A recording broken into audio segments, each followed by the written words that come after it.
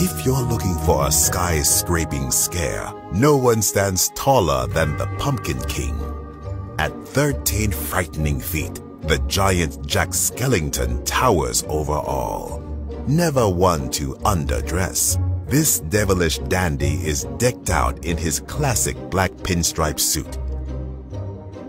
With a wide bat-like bow tie stretching far past his slender shoulders. There are few who deny it. What I do, I am the best, for my talents are renowned far and wide. As night falls, color-changing LEDs bring some much-needed color to his bone-white body glowing brightly all night long.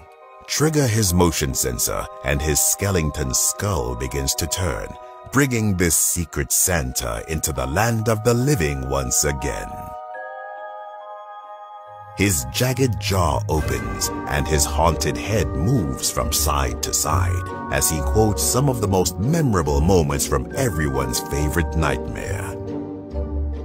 And I, Jack, the Pumpkin King have grown so tired of the same old thing. And if his first face doesn't feel festively frightening enough, remove and replace for a new Halloween Town attitude, playful to sinister with the interchangeable faceplate. Don't bother telling the Pumpkin King what you want for Christmas this year. Naughty or nice, He'll see to it this nightmare is your last.